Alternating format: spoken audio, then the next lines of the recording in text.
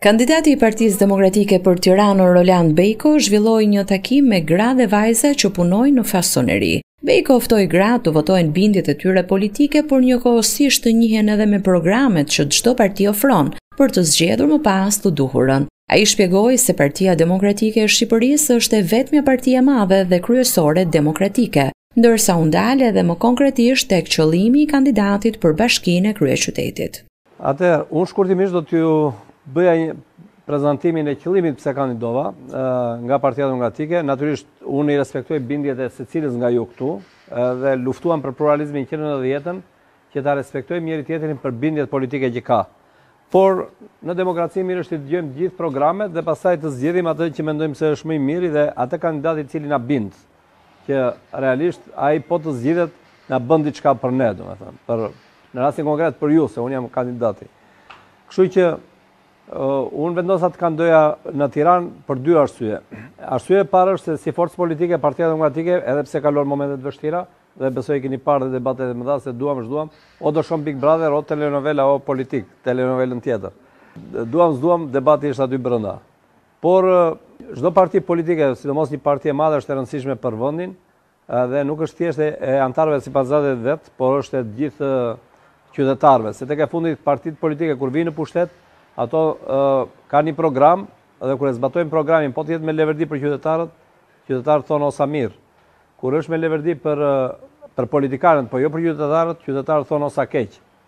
Edhe ne nuk mund ta linim Partinë Demokratike që gjithë shqiptarët të thoshin o sa keq.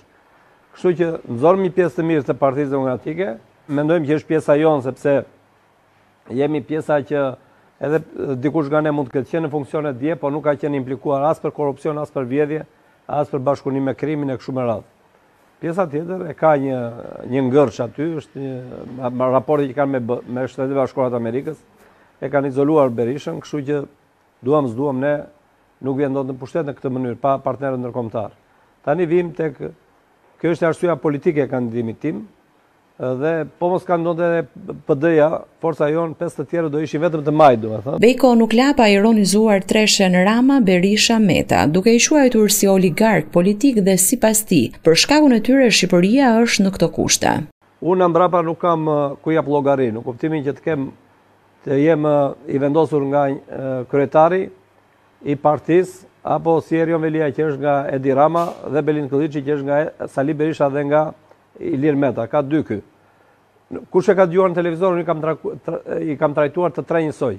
Edi Ramën, Sali Berishën dhe Ilir Metën, i quaj oligarkia politike që kanë 32 vite që e trajtojnë Shqipërinë si pronë e vet, lëvizin gjithë politikat e taksave, të punësimit, të jo punësimit, të zhvillimit ekonomik të vendit e tjerë. Ekonomia në Shqipëri është kriminalizuar, Vetëm në Tiranë për ajo sektori i madh i ndërtimeve ka marrë 1.6 miliard lek nga krimi i organizuar, që s'ka të bëj fare me ju se ju po të kishit kaq shumë para nuk do ishit sot në rrobaqepësi dhe ato kanë ndërtuar pallate për veten e tyre. Pallatet, lejet e ndërtimit i kanë ndarë me njëri-tjetrin. Ka marrë dhe familja e Sali Berishës, dhe familja e Ilir Metës, dhe familja e Edi Ramës, dhe kështu e kanë ndarë gjithë Shqipërinë në parcela. Ditën zihen për politikë dhe natën ndajnë, ndajnë lejet e ndërtimit, ndajnë zonat e influencës dhe punojnë me oligarkët financiarë. Flamuri këtu është biznes, biznes i ndershëm, biznes i drejtë. Lidhur me programin për gratë dhe kryefamiljaret nëna, Bejko u ndal më konkretisht rreth programit dhe pikave përfituese.